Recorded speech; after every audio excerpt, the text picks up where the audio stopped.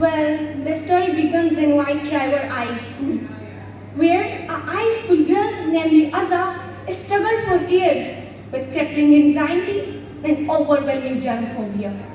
Daisy, a fast-talking and hard-working girl, is the best friend of Aza. One day, the news broke out that Russell Pickett, the billionaire father of Aza's childhood friend Lewis Pickett, is gone missing. Later then, Daisy convinced Aza to reconnect with Davis in order to gain details about Russell Pickett's disappearance, which could lead a large reward for the girls.